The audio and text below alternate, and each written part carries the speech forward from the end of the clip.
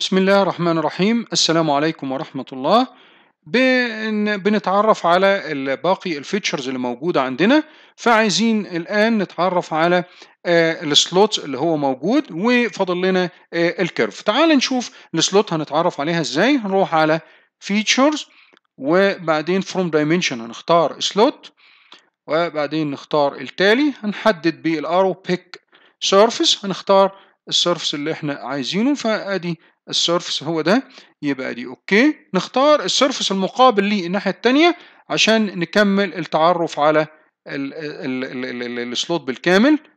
okay. يبقى كده اتعرفنا على ال two surface المتقابلين عشان يحدد لي آه، الشكل. هنا حدد لي ال slot. آه يبقى هو أنا كده ده هو آه، ال slot المطلوب التعرف عليه.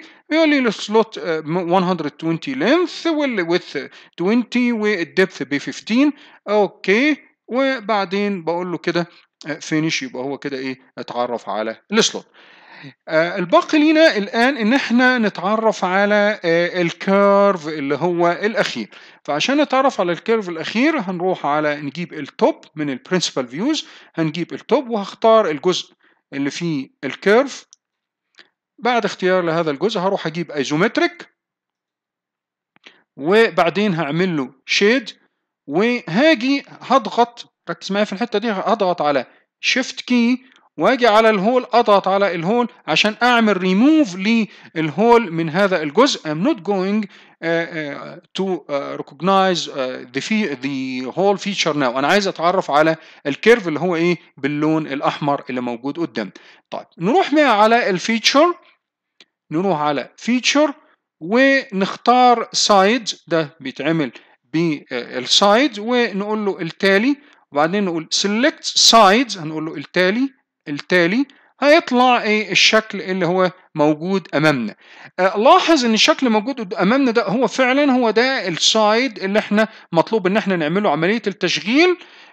في ال arrow اللي موجود بالأزرق. ال arrow اللي موجود بالأزرق اللي should be إن هو إيه؟ يعني يبقى outside the part اتجاهه لل outside the part طب لو ما كانش outside وكان inside عندي آه دي الجزء ده بيقول لك إيه؟ machine side. خ- شوف ال machine side هتمشي إزاي. إحنا عايزين ال machine side لل outside وليس لل inside فلو هو كان لل inside كنت هتضغط على ال arrow ده وتعرف تجيبها لل outside كده هنقول له التالي خلاص وهنقول له إيه؟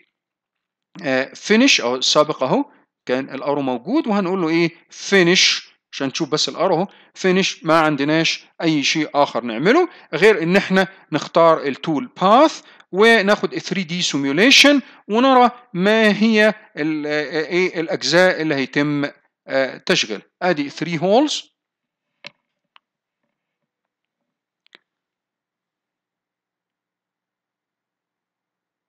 pocket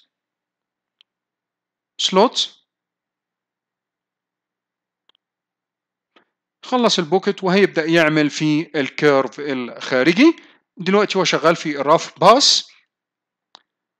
أول ما ينتهي من ال rough pass هيدخل على ال finish. خلاص خلص آه، ال finish. بكده نكون اتعرفنا بطريقة أخرى على إحنا طبعا الأول اتعرفنا بال automatic feature recognition المرة الثانية عرفنا عن طريق ال features manually step by step طلعنا آه، آه، وأنتجنا هذا الجزء. نفس ال- ال- اللي كان الجزء المنتج من ال automatic feature recognition هي هي نفس ال- ال- ال- اللي أخرجت ما فيهاش أي خطأ. أدي 3 holes اهو through holes ال pocket وأدي عندي إيه ال- إيه ال- ال curve وال slot. آه، بكده نكون وصلنا آه، لنهاية هذا آه، الجزء. شكرا والسلام عليكم ورحمة الله وبركاته.